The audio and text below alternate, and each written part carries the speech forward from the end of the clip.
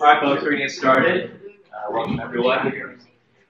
So our speaker today is Dr. Joe Odin. Uh, he's one of our hepatologists here at Mount Sinai. He's also the director of the uh, autoimmune liver diseases uh, section.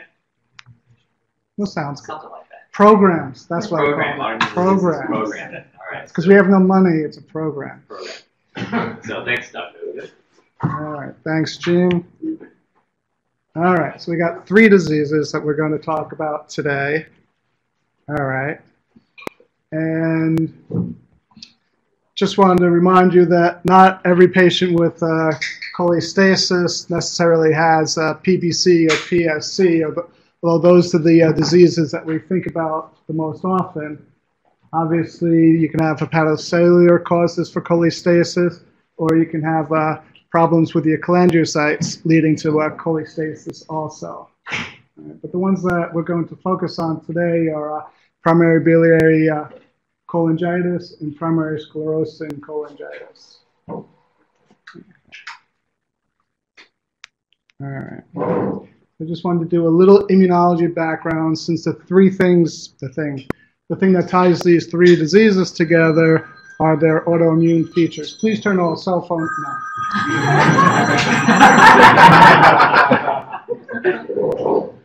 Hello?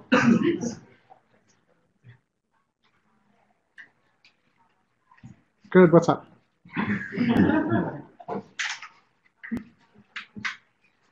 Uh, I'll call you back. About Friday. Friday will come when it comes. So the common feature of all these uh, three diseases are their uh, autoimmune uh, pathogenesis. All right. So everyone in this room has some quiescent or not so quiescent autoreactive T cells.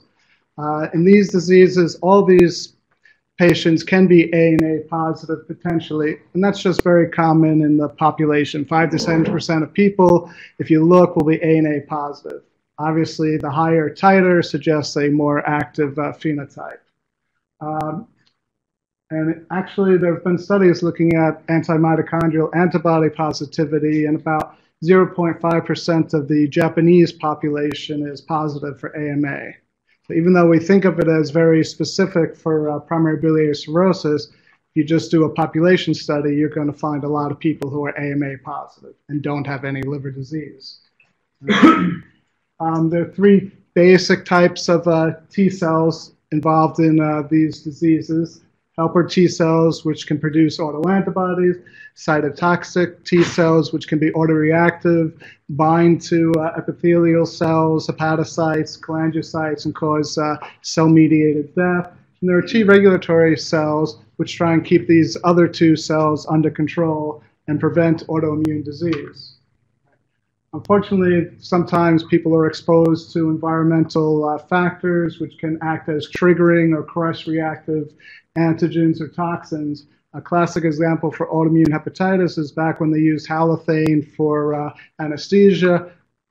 A certain percentage, I've forgotten now, would actually develop autoimmune hepatitis after exposure to halothane.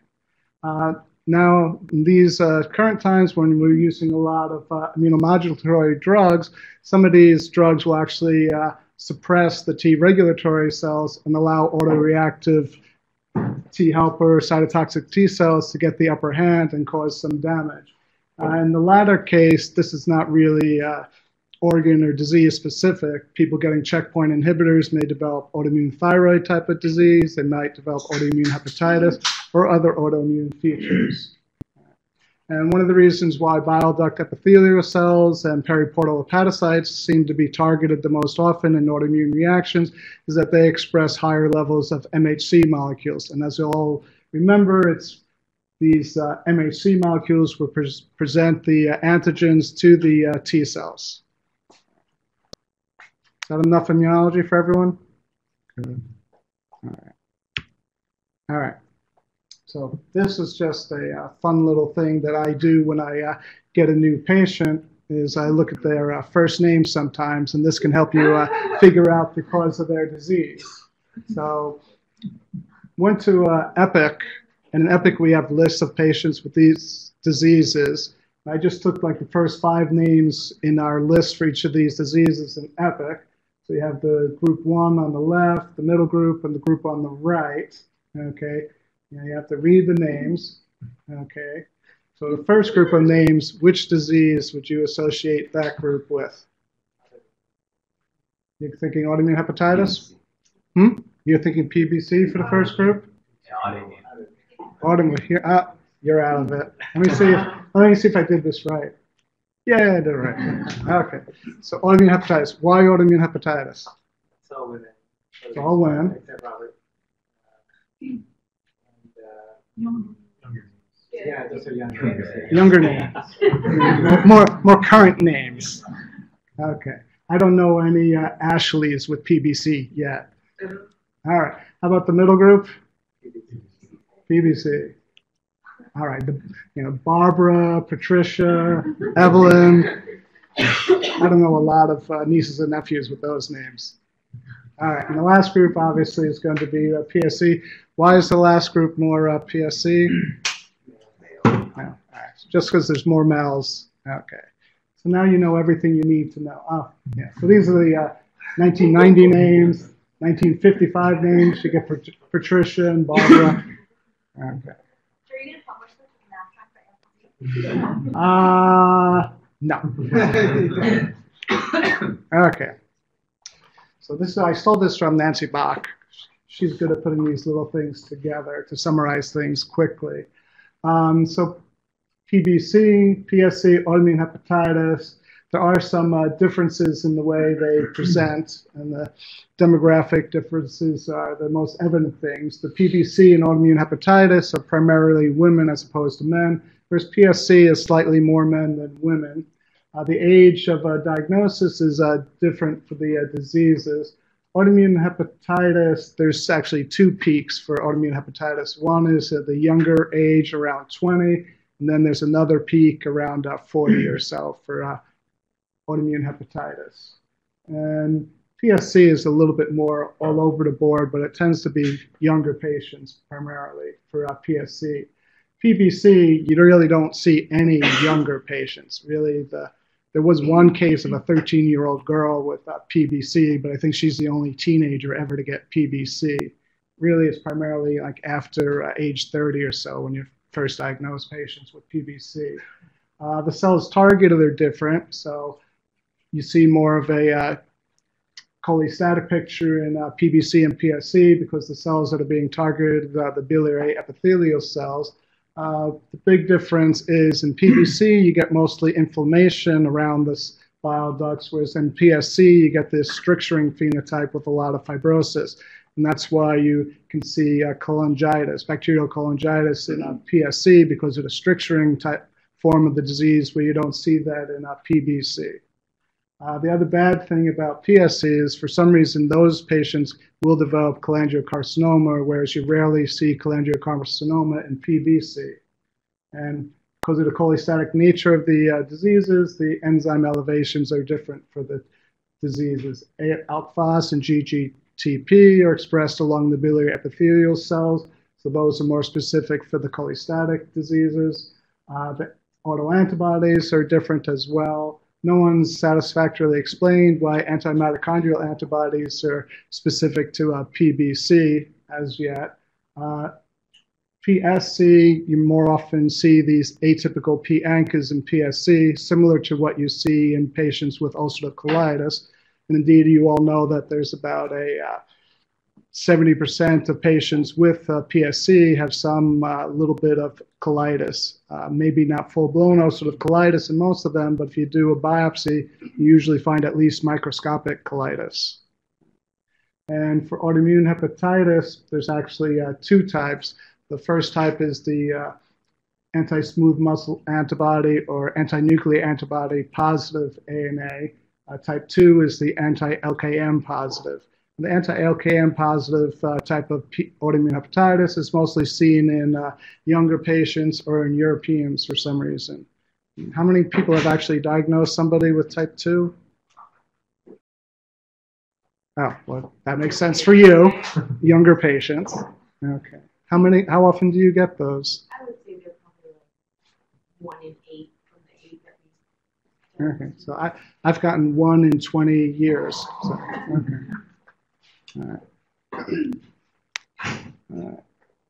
So for this uh, audience, I wasn't going to spend a lot of time on uh, diagnosis and presentation, but more wanted to talk about uh, refractory uh, cases, which is what people usually come to my office to talk about. Okay. Uh, the diagnosis is really not all that uh, difficult.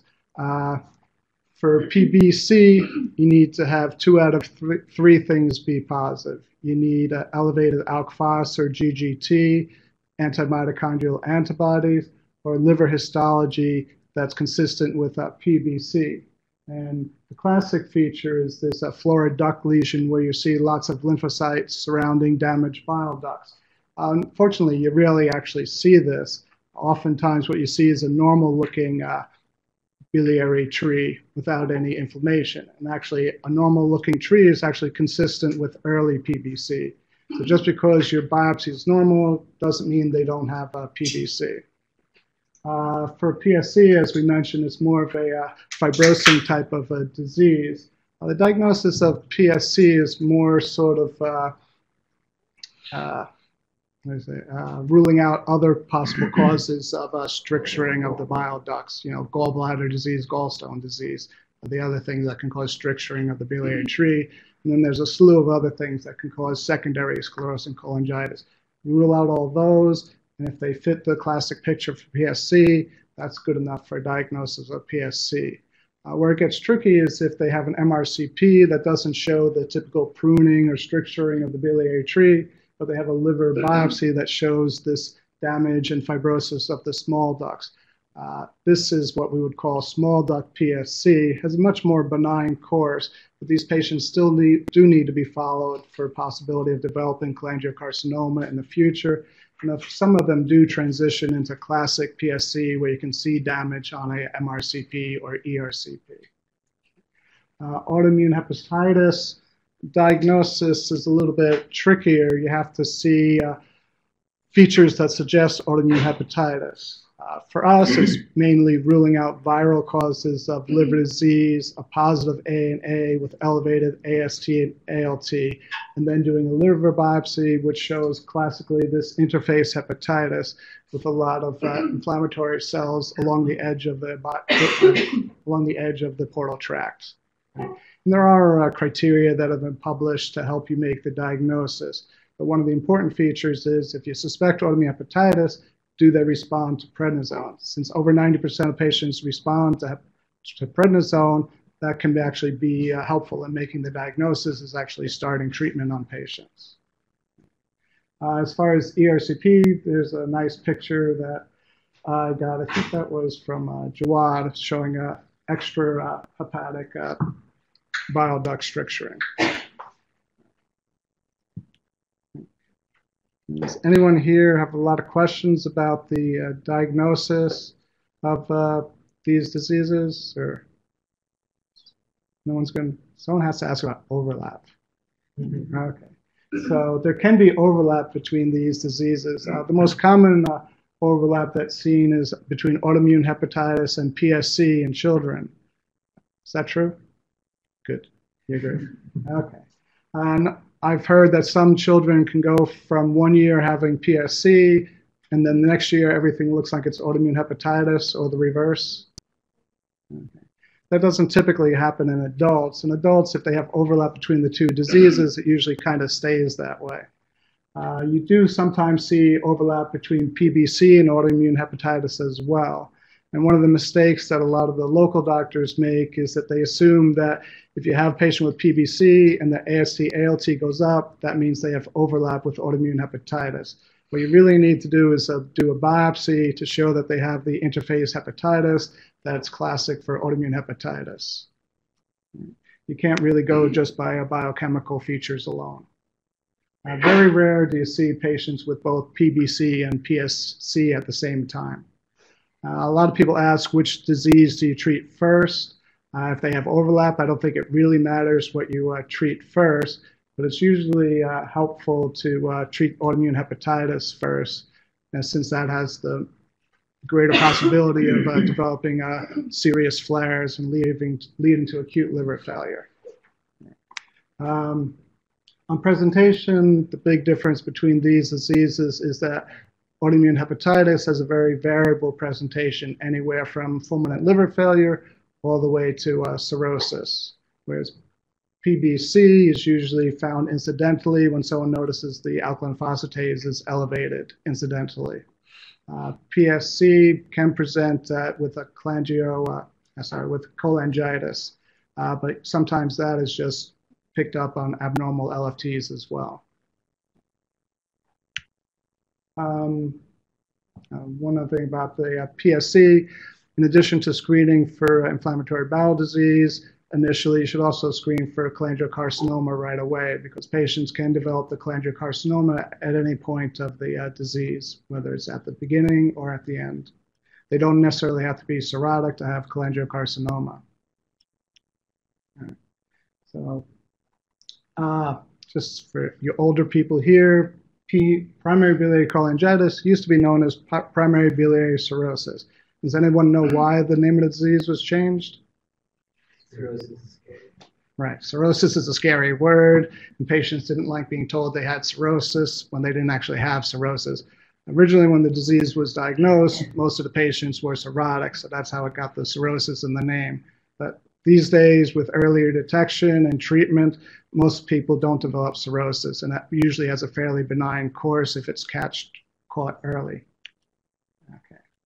Um, the number of patients being transplanted for uh, PBC has steadily gone down over the last decade, and this is presumed to be due to the introduction of ursodeoxycholic acid for treatment in the late 90s.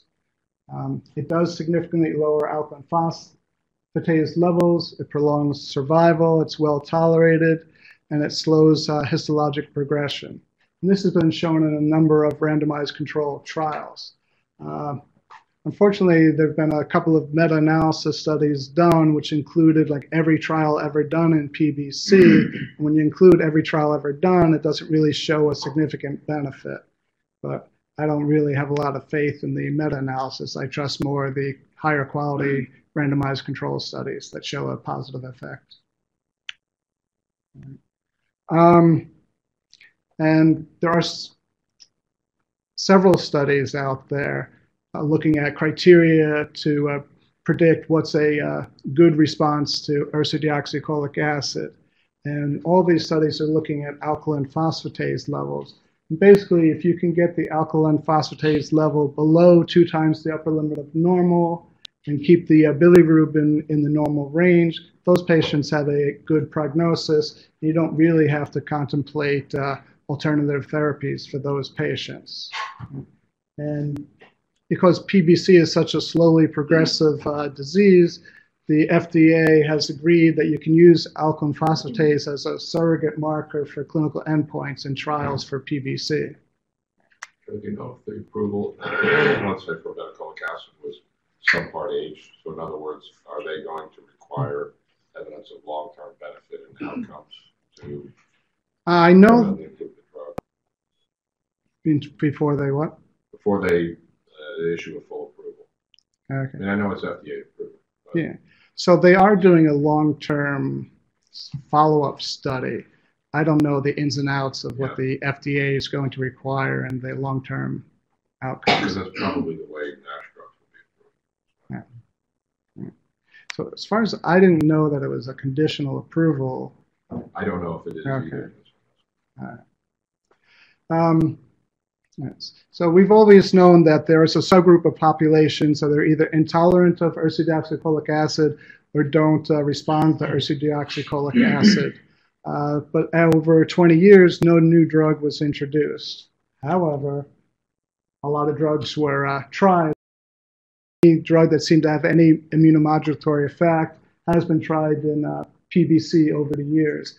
You would think that steroids would be useful, uh, steroids do lower alk levels, but they cause so many side effects in these patients that they were deemed uh, more harmful than beneficial. And you can see a long list of other immunosuppressive drugs that have been used. Uh, there are also drugs that increase uh, choleresis have been tried. And currently, the ones that are undergoing clinical trials are these FXR agonists, except for obeticholic acid, which Scott mentioned has been approved recently. And there are a number of uh, PPAR agonists which are under study. The fenofibrate and bezafibrate have been around for a long time. There really haven't been large quality, good quality studies to show that they're actually beneficial in PBC. Um, there's a lot of interest in FXR and PPAR agonists, not only in uh, cholestatic liver disease, but also in uh, NASH. These uh, regulate not only bile acid synthesis, but also lipid carbohydrates and inflammation as well.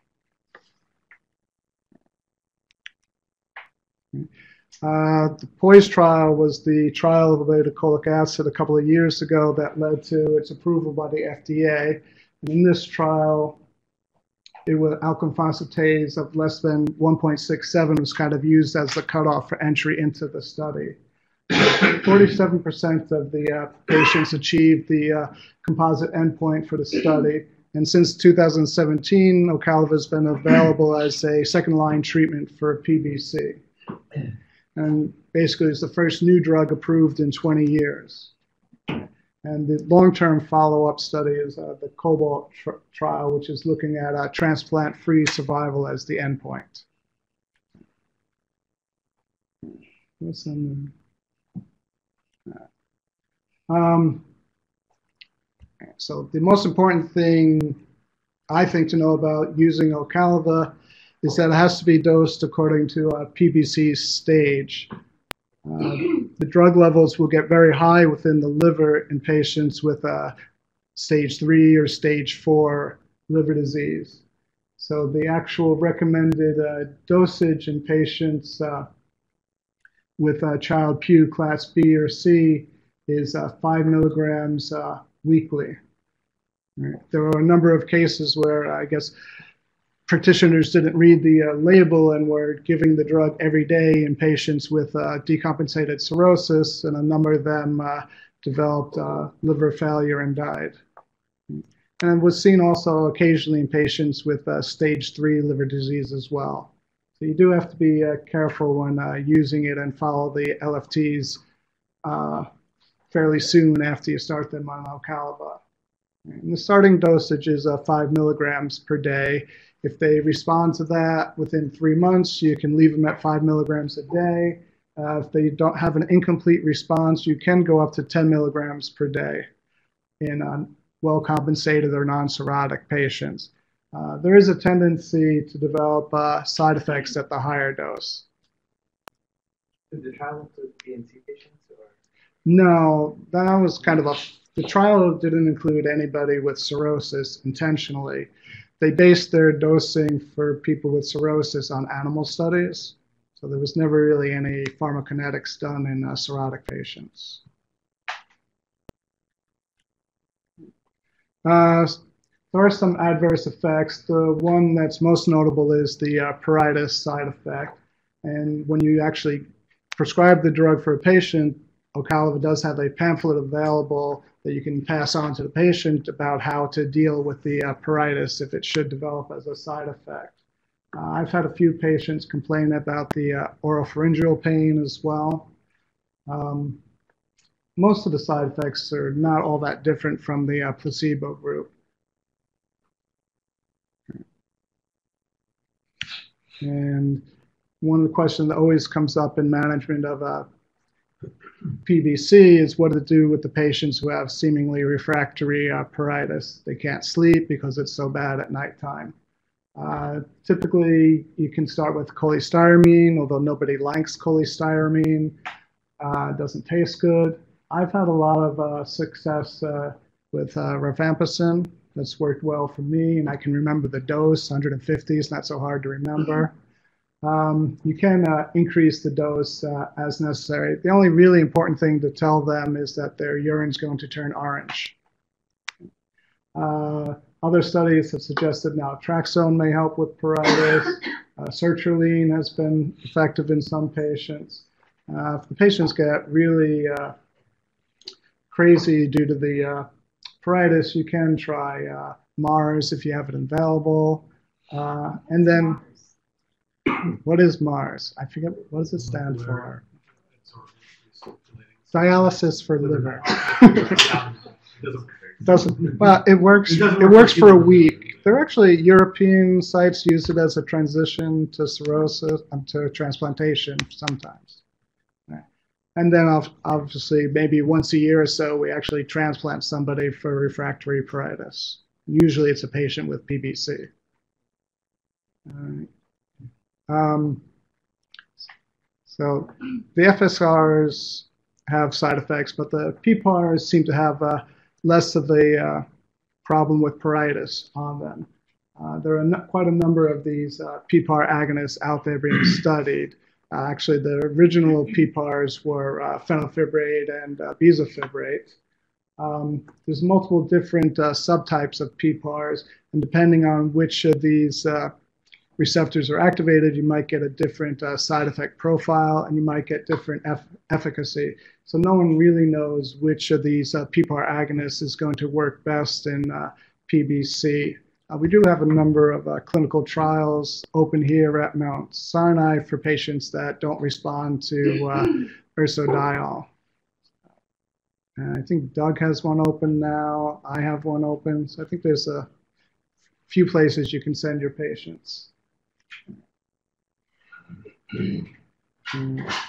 And there have been some small uh, studies uh, showing the benefit of uh, bezafibrate used in conjunction with ursodeoxycholic acid. You can see the number of uh, people enrolled in these studies is uh, not very large. Um, but they did achieve normalization of alkaline phosphatase in 67% of the patients treated with combination therapy. Uh, there were some issues with uh, possible uh, rising creatinine. There was myalgia is another side effect that you might see in patients with a bezafibrate. Unfortunately, it's not available in the United States. So what's available here is a fenofibrate, and it acts on certain different uh, PPAR uh, receptors than the uh, bezafibrate does. So it doesn't typically have quite as much efficacy as bezafibrate in most studies. But it's something worth trying in your patients. You have nothing else to offer them. Right? And you know the studies with a fenofibrate are you know maybe from anywhere from 10 to 46 patients enrolled in the studies. Uh, one thing to remember is you shouldn't use this in uh, patients with hepatic decompensation or renal dysfunction. Uh, there was one very promising study that had an 80% of the subjects had a reduction in their alkaline phosphatase all the way to normal. Right. They didn't show a change in clinical endpoints, but the study follow-up period was a little bit too short to show that.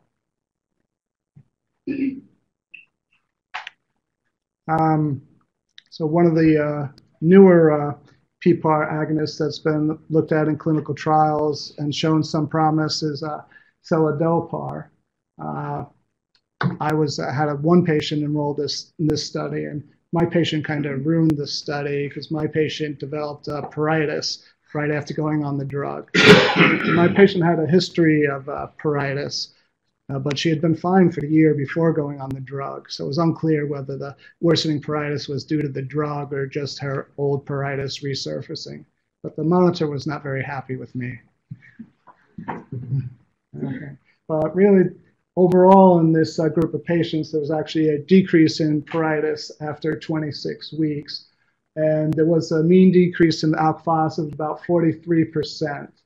Uh, if you use the higher dose, you'd seem to get a more rapid decrease in alk but at the end of 26 weeks, no matter what the dose was, all the patients seem to end up at the same uh, point. And actually, 30% of these refractory patients actually normalize their alkaline phosphatase levels.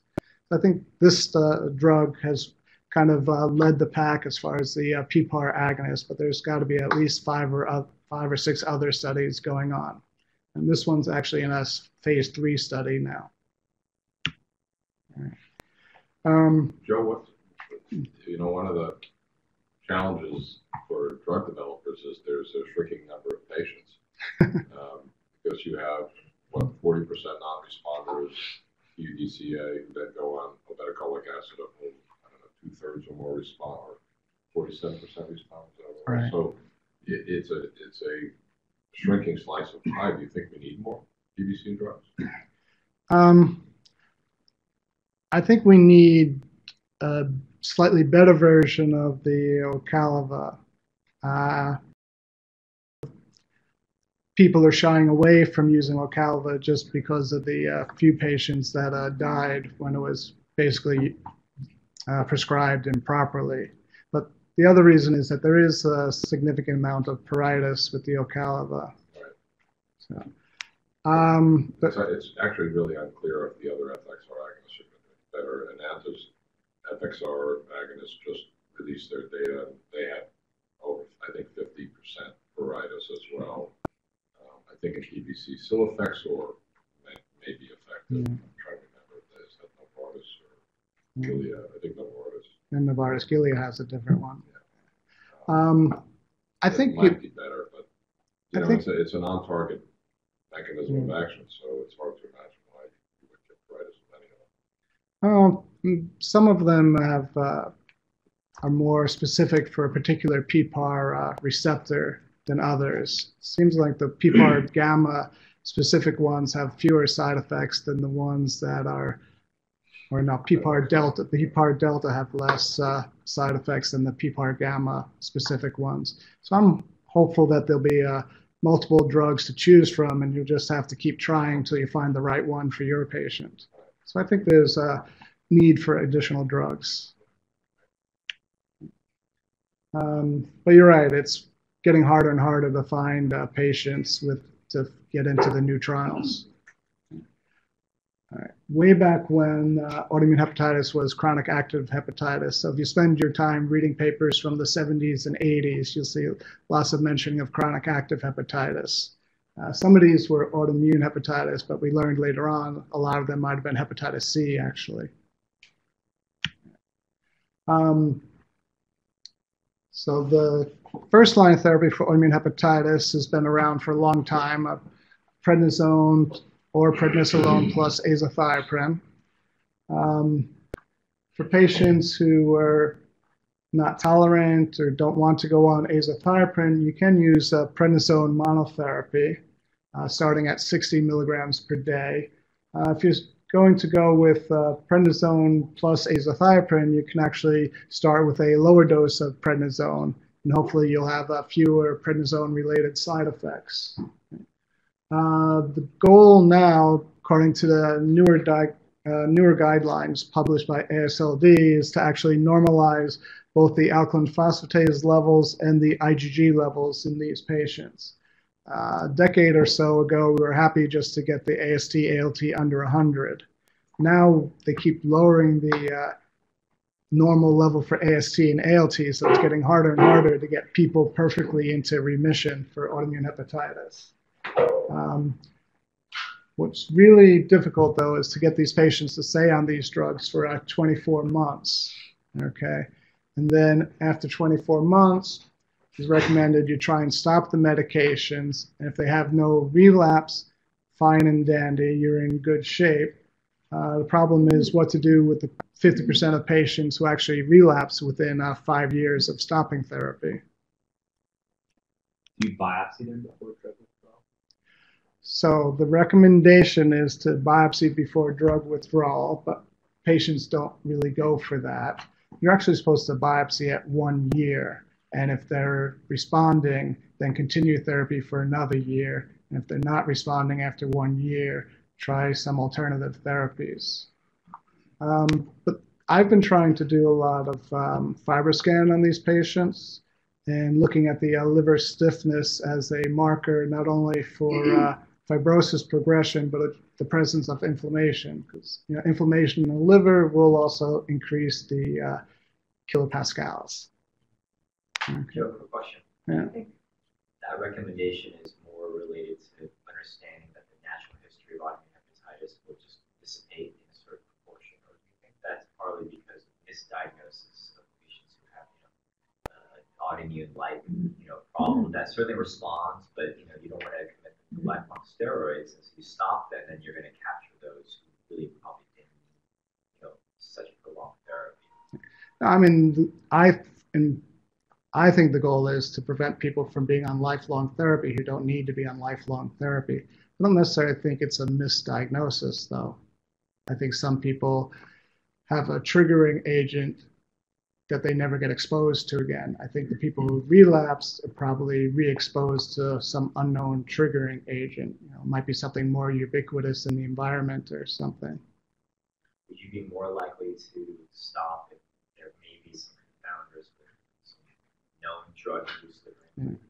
So I don't know if we might be on a different slide, but obviously if you know what the trigger is, if it's a drug that sort of triggered an autoimmune reaction, those patients very rarely relapse afterwards unless they're re-exposed to the drug. They might be slightly more prone than the general population to autoimmune hepatitis, but if you avoid that known trigger, they generally don't relapse again. So, Joe, just another question, sorry. Yeah. Um, how effective, or have you ever had any of your patients with prednisone monotherapy? Uh, good question. I think it comes up later, but if you just pay, put a patient on uh, maintenance with uh, monotherapy with prednisone, about half of those patients develop cirrhosis. So even though even if their LFT, AST, ALTs look normal, if you're on need to be on prednisone maintenance forever, you have a poorer uh, outcome than somebody who you can take off of uh, prednisone. Do you think that's just a question of autoimmune with like a smoldering autoimmune, or is it that they develop fatty liver from being on prednisone? I didn't. Do Um, they, yeah. like no, no one's doing biopsies to see if it's uh, prednisone and fatty liver that makes it. That's a good question. Then, I mean, like, budesonide monotherapy? Are you Yes. gonna get to that? Uh, I mean, we'll get to that, but yeah, I don't think anyone's looked long term to see if a budesonide monotherapy is, you know, if they require budesonide monotherapy, does that mean they have percolating along immu- autoimmune hepatitis that's not fully treated or not?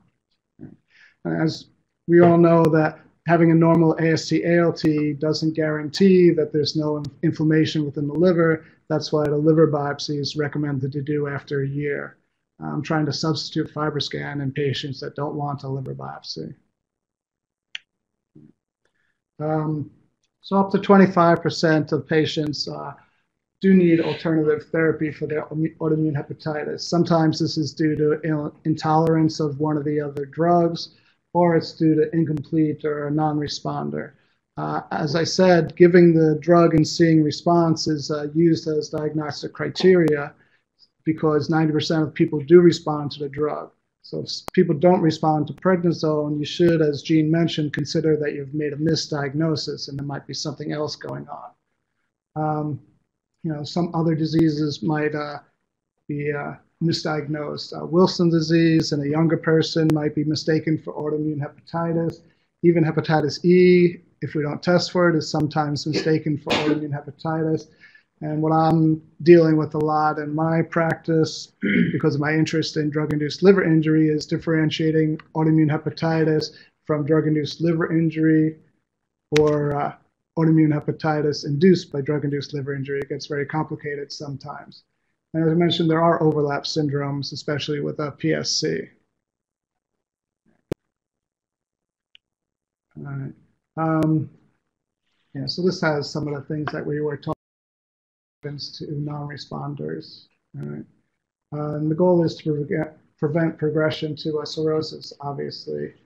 Um, and as you can see on the uh, pie diagrams on the right, um, people who are responders, 96% of them don't go on to develop uh, cirrhosis, whereas in patients who uh, don't respond, up to about half of those will go on to develop a cirrhosis. Right. And if you do a biopsy, that can also correlate with uh, good prognosis and survival. Right. Um, all right. So there are some proven alternatives that people have mentioned. Budesonide has been shown to be uh, effective in uh, autoimmune hepatitis. It avoids uh, systemic side effects because it undergoes first pass metabolism in the liver. Except if the patient is cirrhotic, then the uh, drug does cause uh, the typical glucocorticoid side effects. So you don't really get any benefit using uh, budesonide over prednisone in cirrhotic patients. Um, And yeah, this is a study showing the effectiveness effectiveness of uh, budesonide. In this study, the endpoint was not just uh, AST ALT levels, but they combined that with no side effects. So you're obviously a lot less likely to have uh, glucocorticoid side effects in patients treated with budesonide.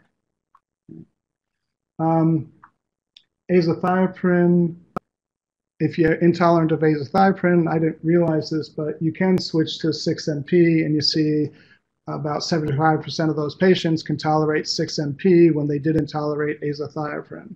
So I haven't been trying that, but I know that Doug does this sometimes, and it seems to work for him.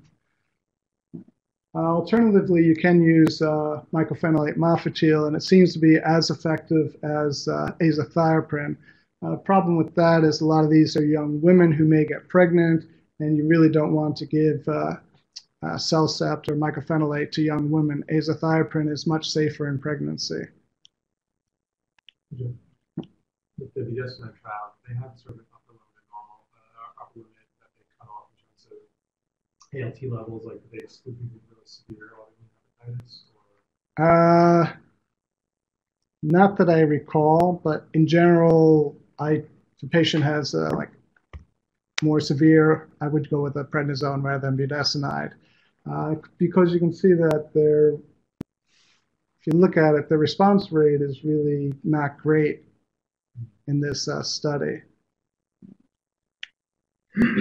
so I think as far as a biochemical response, prednisone is still much more effective than budesonide. So there is a need for uh, new therapies for uh, autoimmune hepatitis as well, uh, because not everyone can uh, tolerate CellCept, azathioprine, or prednisone at times. Uh, what's often used are the same drugs that we use in our transplant patients, uh, calcineurin inhibitors, TNF alpha inhibitors, or mTOR inhibitors have all been tried in autoimmune hepatitis in small studies, and they've all been shown to be effective to a certain extent. But as you all know, these drugs have a lot more significant side effects and long-term side effects than prednisone or azathioprine. And there have been uh, some head-to-head studies. Uh, this one looked at mycophenolate versus uh, tacrolimus in uh, non-responders to prednisone and azathioprine. And there wasn't really statistically significant difference between the two, but there was a uh, trend for a little bit better response to uh, tacrolimus in uh, non-responders. So on the first two groups, it's, it's uh, so the first group was just people intolerant, and then it was non-responders. So patients that are intolerant, you could probably use either one. Uh, for patients that don't respond to pred plus aza, you're probably more likely get a response from uh, tacrolimus than from using a CellCept or mycophenolate. Um, and there have been a lot of small studies looking at the other drugs showing variable response rates. Uh, it was interesting that sirolimus in five patients, 80% uh, showed a biochemical remission in non-responders. Right. So I've had lots of discussions with uh, different people about what to use in refractory patients. And I think you should usually use the uh, drugs that you're most familiar with, you know, where you know what the side effects are. I don't use rituximab because I don't really know what all the side effects for rituximab are. So I usually stick with the uh, uh, tacrolimus or uh, cyclosporin in the really refractory patients because I use those drugs every day.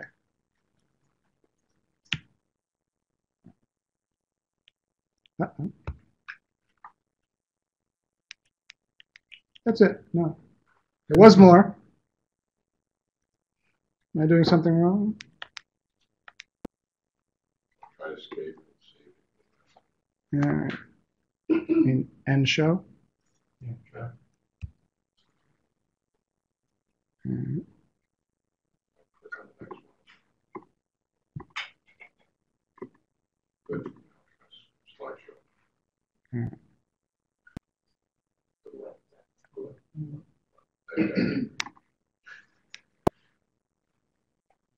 There.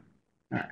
And we only, uh, I don't have any trials right now for uh, alternative therapy for autoimmune hepatitis. I'm not sure if Doug has one open or not. He does have one? All right. if you have a refractory patient, you might want to consider uh, enrolling them in a clinical trial.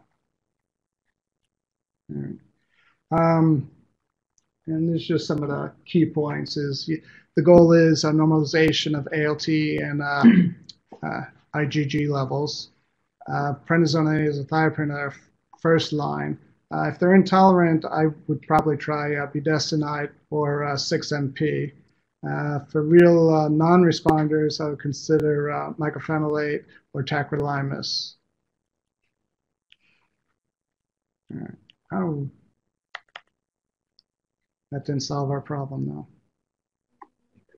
Yeah. Which, yeah. Oh, yeah, sorry. All right, so we got a few minutes for PSC. Any questions about autoimmune hepatitis and your refractory patients?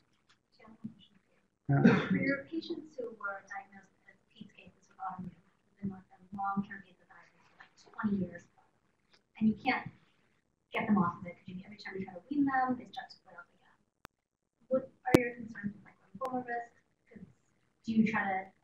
Couldn't find anything about like cycling. Do you like take them off azathioprine and put them on MMF instead? Because then you're just trading one drug for another set of side effects.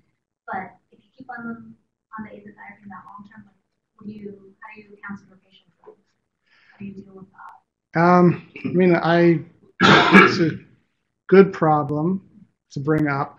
I tell them about the long-term side effects, and then most of them get scared and want to come off the drug. Um, they flare. Right, so I will tell them. Then I usually suggest budesonide as an alternative. Um, Well, see. Jen has the worst patients. So I yeah. and tacrolimus is sort of the other alternative, but you know that has tons of uh, long-term side effects as well. I mean, she doesn't, she doesn't have any like thing concerning for right now, but twenty plus years, she's been on azathioprine, I can't get her off the. I mean- This is the patient I told you about, where her MCV started going up just over like the past few months when they've been. I mean, the risk of lymphoma leukemia is still very low. Oh. It's like 5% or less of patients. So it's kind of, I mean, I've been here long enough now that I've seen one patient, but one patient in 20 years as opposed to the other, you know, 50 or so patients who are on azathioprine long term. It's a decent trade off unless you're that one person who gets the lymphoma leukemia. The So you usual, don't worry, so you don't think like, okay, maybe time to try to cycle the drugs, or you just keep them on it? just keep them on it indefinitely, unfortunately.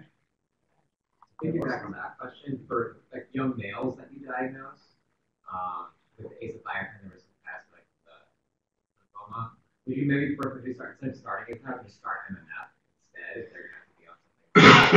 Well, MMF has the same long term risk of uh, leukemia, lymphoma as well. Okay. So you don't win. And a lot of those lymphomas are in the setting of dual immunosuppression, right? They're on the biologics with the azathioprine. That's where the T cells. Yeah, more likely. concerning. So. Couple that versus the risk of developing cirrhosis and need for transplant. Yeah, no, I mean the r- the risk benefit is definitely uh. Uh, it's favorable to use the azathioprine, but you know you still worry about your young patients because you know they'll be on it for decades to come. Um, so PSC, just a sh- much shorter uh, overview for PSC since there's really not a lot of uh, treatments, unfortunately, for PSC.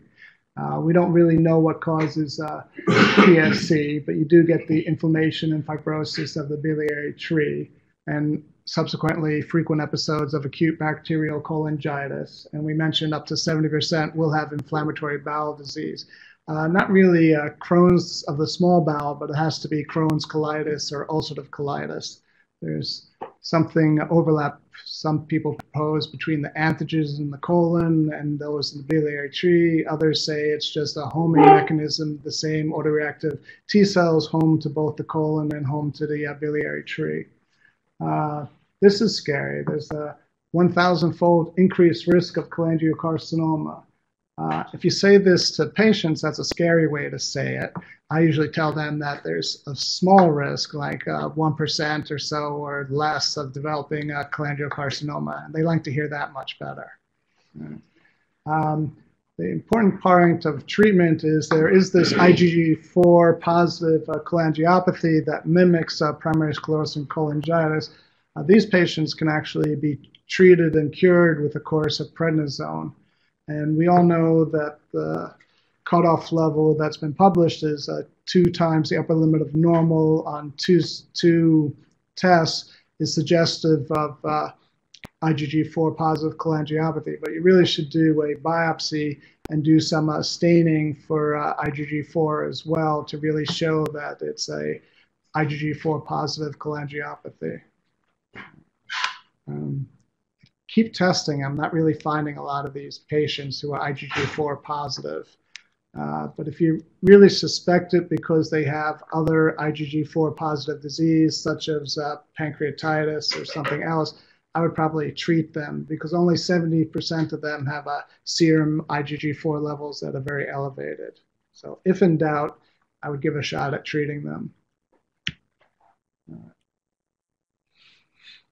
I don't know what happened there. That's interesting. Okay. Uh, well, this is easy because there's really no medications approved to uh, treat PSC, unfortunately. It's, you know, just like in PBC, lots of choleretic drugs and immunosuppressive drugs have been tried in PSC, and none of them really seem to have any long-term benefits. Uh, yeah. The few small trials are ongoing. This norUrso or norUDCA has actually been around for quite a while, and they've been doing a few studies that have shown some promise in reducing alkaline phosphatase levels. Uh, question though is there's no um, studies that show reducing alkaline phosphatase levels with drug therapy in PSC improves clinical endpoints. I have a question about the integrin inhibitors, the, the, the Do you think that is promising or the data is not? it was just a small number of uh, patients in the original study. You just need to do a larger study and find some clinical endpoints to study. I mean, the FDA has said that alkaline phosphatase normalization or improvement is not going to be adequate for patients with a uh, PSC as a clinical endpoint. So that's what everyone's struggling, what to use as your clinical endpoint in PSC for uh, drug studies. Um, so here's the study. So there was a, quite a significant uh, reduction in alkaline phosphatase levels, but it's not really clear that the reduction is enough to really change clinical endpoints. And we'll skip along some of the other studies. There we go. So just in the interest of time. Because there's really, unfortunately, not a lot to say about PSC, but they are trying the FXR agonist and the PPAR agonist in uh, PSC, and it's kind of like a shot in the dark, you know, saying that it looked promising in PBC, so of course we're going to try it in PSC as well. But the clinical, the endpoint of the trials is alkaline phosphatase levels, but that's really not going to be enough to get FDA approval, unfortunately. Uh, the FGF19 agonist is also being tried. Yeah. And then there are uh, evolving MR methods. So, for example, the Perspective Um, uh, has a, uh, uh, corrected T1 imaging has a uh, an algorithm for disease activity in PBC. I think in the end, those may provide more yeah, I mean, a couple of years ago, we were contacted about this by this. Uh, you put us in touch with them, maybe I forget how we heard them, but the UK group that's looking at uh, MR imaging and trying to do three-dimensional imaging and quantifying uh, bile duct uh, size and length. Yeah, so all computer-generated modeling, similar to what they were doing in uh, vascular disease. Well, really, the challenge is it's not even clear the disease activity is related to the fibrosis. So even if you have an